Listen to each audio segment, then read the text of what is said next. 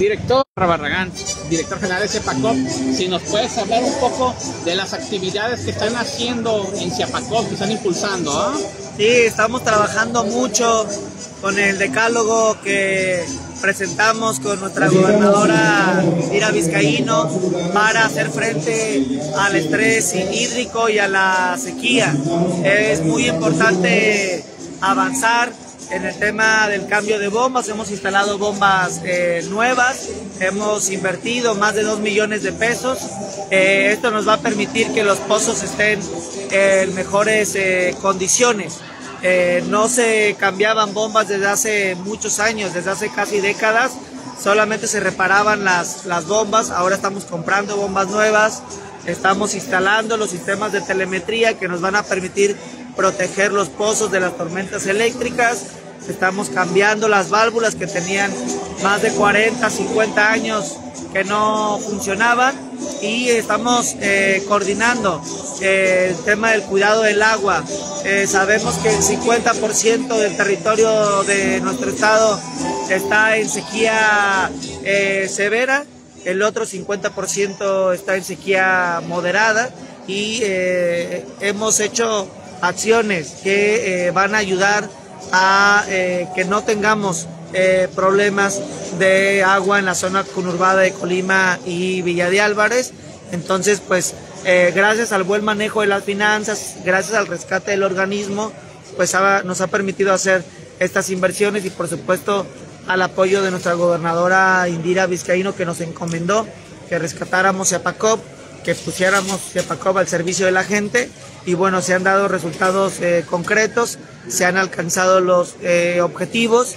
Eh, también hemos eh, trabajado en el tema de alternativas como los programas de cosecha y de lluvia, que ya vamos a implementar las escuelas para poder ahorrar agua, para poder reciclar el agua. Este año vamos a echar a andar varios programas piloto.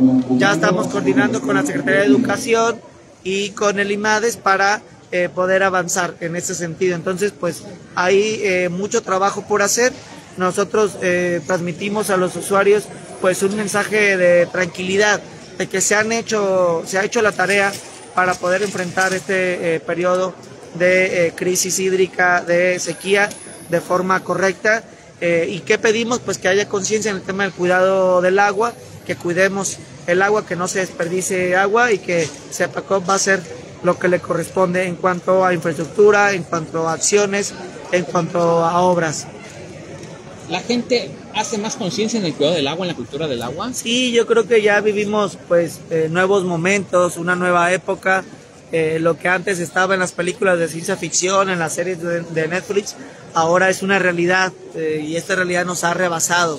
Incluso a la ciencia ficción tenemos que ya eh, poner orden, tenemos que hacer conciencia, sobre todo para asegurar el vital líquido a las futuras generaciones. Hablabas de un decálogo que están impulsando, ¿no? ¿De qué trata ese decálogo? El decálogo es el, la compra de bombas nuevas, eh, la instalación de eh, válvulas o el cambio de válvulas que se están haciendo para sectorizar el sistema de suministro de agua, para cuando haya una fuga no tener que dejar sin agua a media ciudad, sino solamente ahí en esa colonia o en esas eh, calles. También estamos haciendo entronques, compramos una pipa, compramos una grúa, eh, estamos haciendo diferentes eh, pues, propuestas integrales para poder hacer frente a esta crisis hídrica que está presente en todo el mundo, en todo el país y en el estado de Colima.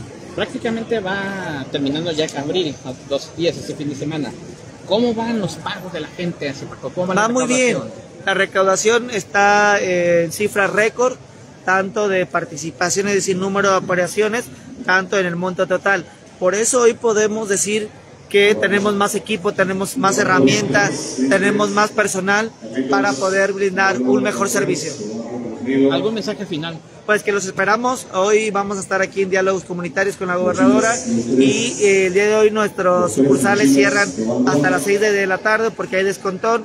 Ya está el decreto del 100% en multas y recargos y los invitamos a que vayan a cualquier sucursal de Ciapacón. Aprovechen. Gracias. Hasta luego.